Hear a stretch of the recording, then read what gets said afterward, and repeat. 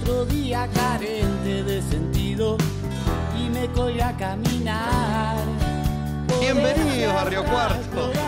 Muchas gracias, muchas gracias a todos. Estamos muy emocionados. Bueno, de- por favor, eh, comentanos, describinos cómo están viviendo este momento realmente, entre medio de abrazos, de lágrimas. Sí, la verdad que fue mucho más de lo que nosotros no- nosotros vieron. En el viaje nunca planeamos mucho nada. Esto lo fue organizando mi tía y los amigos y la familia.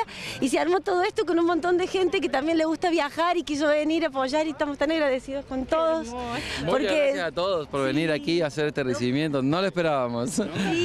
no, no. Es tan bueno cumplir los sueños y muchas gracias a todos los chicos de los Citroën que también nos fueron a buscar a, ¿A a- dónde lo fueron a encontrar? a- a Chucul, Chucul. antes de Chucul. Así que vinimos en caravana hasta acá y bueno, ¿Y buenísimo. ahora van a seguir por la ciudad o qué van a hacer? Sí, pensamos dar una vueltita por la ciudad si quieren, los que quieran, dar una vuelta ahí y mm, hasta la plaza, dar una vuelta a la ¿Puedo plaza. almorzar? Un rico locro. almorzar un locro Eso por la de- madrina. De la madrina, que fue la organizadora de todo esto. Muchas gracias, madrina. Y- Bueno, Facundo, eh, ¿cuántos kilómetros recorridos en- en- y en cuánto tiempo? Eh, bueno, unos cinco años y cuatro meses fueron al final. Hicimos 80.000 kilómetros de tierra y 3.000 kilómetros de río por el Amazonas.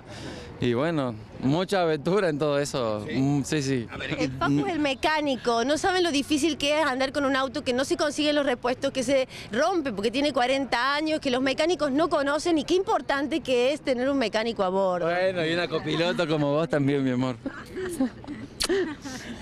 Digo, es, es difícil, deben tener seguramente eh, cientos de anécdotas, pero eh, ¿qué es lo que más recuerdan de lo que les ha ocurrido a lo largo de estos cinco años en este recorrido? No, No, sé, anécdotas un montón. En este momento me, me vienen miles a la cabeza, pero lo que más me quedan son las miles, miles de personas que nos han ayudado y que nos han dado un empujón, nos han colaborado, un plato de comida, lo que sea. Así que a todas esas personas, por más que no nos vean, gracias.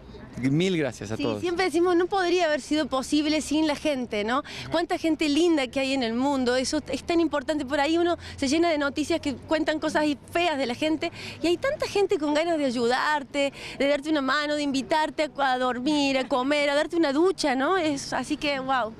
Facundo, y después de tantos kilómetros y de estos cinco años, ¿qué van a hacer con este 13B? ¿Lo van a vender o lo vamos a guardar para recuerdo? ¿A vos qué te Es parece? imposible sostener. ¿A vos qué te parece? No, no, si lo hubiéramos querido vender, hubiéramos tenido muchas posibilidades, pero nunca lo quisimos vender. Ahí lo trajimos Ahora nunca. andando por el hecho de no venderlo, así que aquí está. Va a ser nuestro. Ya para la familia. Y ya es parte de la familia, es parte, es parte. Chicos, bienvenidos. Muchas gracias, muchas gracias y saludos.